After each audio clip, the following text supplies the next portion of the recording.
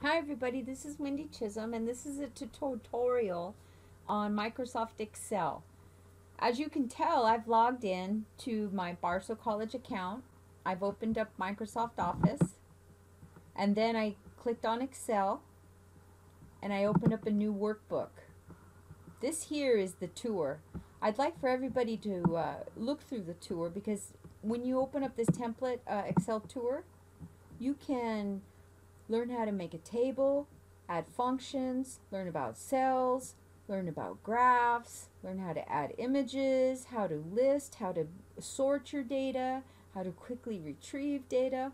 All this is extra information, something that we're not going to go through in this class, but it is something I want to point out. Your requirements for your lab is to create a table with some formatting and some data, to include two formulas and a function. And for extra credit, you can add an image and or a chart into your Excel spreadsheet.